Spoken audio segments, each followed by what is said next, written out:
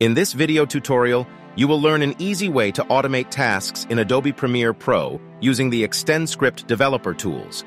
This technique can also be applied to other Adobe products such as After Effects, Illustrator, Photoshop, and more.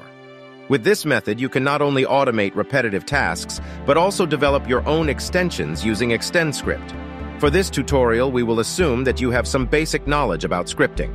ExtendScript or Premiere Pro scripting experience is not needed. First, make sure you have the ExtendScript developer tools installed. If not, download the extension from Adobe Exchange.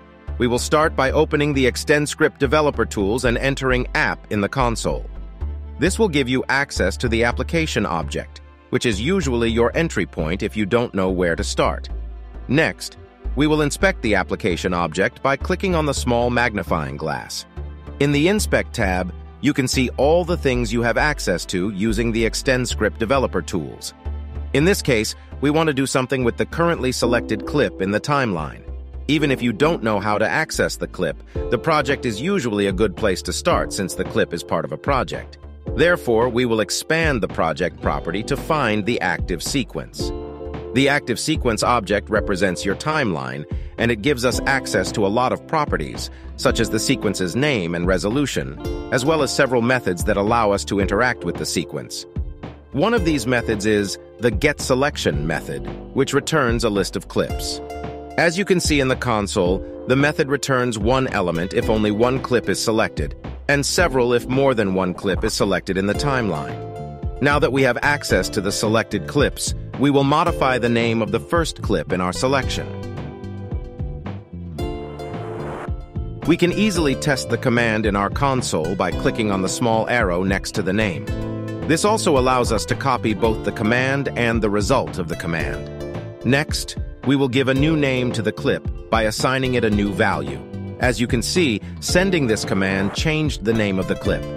You can use this extension to learn more about the Premiere API.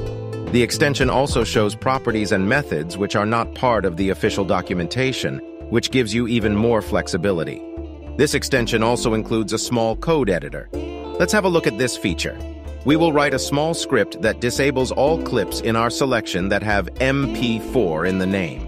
As we previously renamed the first item, all other clips should still have MP4 in the name and become disabled if our script works. We will start by storing the active selection in a variable called selection. Next, we will iterate over each item in the selection.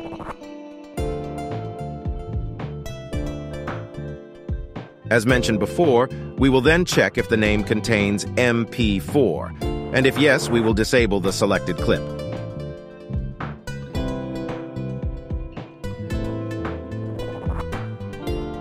By clicking on the Run button, we can test our script.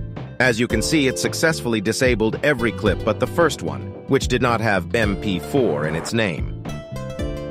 This was a brief introduction to how you can get started working with ExtendScript. Subscribe to this channel to learn more about scripting in Adobe applications and extension development.